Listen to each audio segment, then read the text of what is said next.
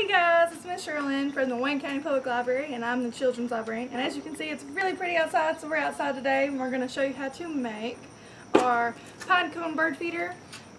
So there's a pine cone. If you don't have one of those, you can use a water jug or we have a coffee, coffee jug here. So what I've done, you'll need an adult for this.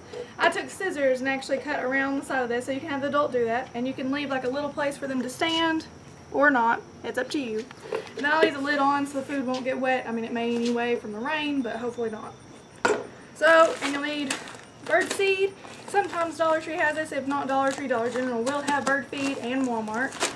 And then you'll need some peanut butter, pine cone, and some plastic spoons. So what you're going to do, you're going to open up the peanut butter. It looks really nice. You're going to take a spoonful of that peanut butter.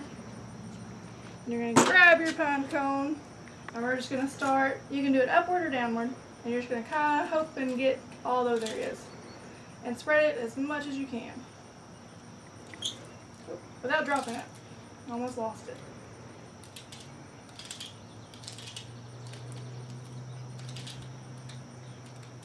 You can do that as many times till you get it to look like that.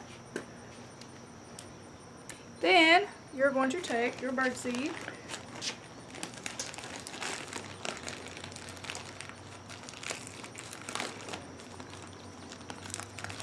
open the bag. That's really good and closed.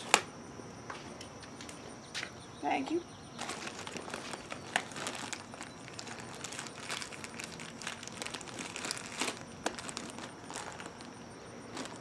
And you can put a piece of string on the end of this whenever you get done and I'll show you what it's going to look like.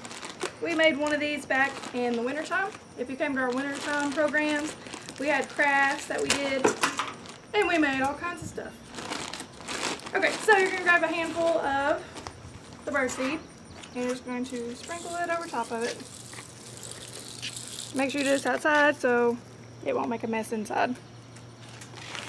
I'll sprinkle a little bit more on there. Okay, and it should stick to wherever you put the peanut butter. So you can load it up with peanut butter or just leave it like that. There's our Birdseed bird feeder. It's all healthy, good for them. They love peanut butter. They love the little bird seeds. Don't eat it. It's for birds only. then you can tie a string to the bottom of it and go out there and hang it from a tree and they'll love you. Right now I'm just going to set mine down. I'll get a string here in a second.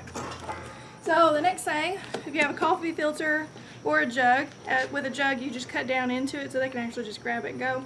With this, I made like a little inserted area. You're just to take bird seed, put in that inserted area. Remember to do it outside so it's less messy. If it's okay, the birds will eat it anyway. I'd say that's about good.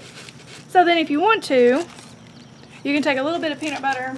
We'll take a little bit and put right here on this little area where they stand so it's easier access. You can do this multiple times if you want to. And sprinkle a little bird seed over it. There you go. You can set this outside on the table. We don't have a table out here, so I'll set it here and act like they can come and get it. And you have a bird seed home and you have your new pine cone bird feeder. I hope you all had fun. We're ready. Let's go. We're going to go outside and hang up.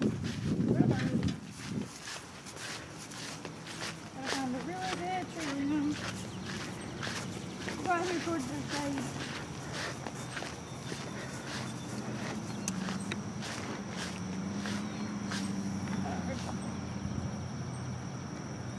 Right here. Oh, it's trying to fall.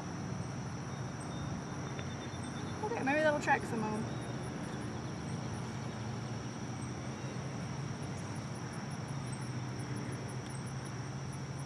Okay, then you just leave it. And they should come and eat all that peanut butter off and the seeds. And then we've left our other one up here. So we'll go up here and we'll show you this.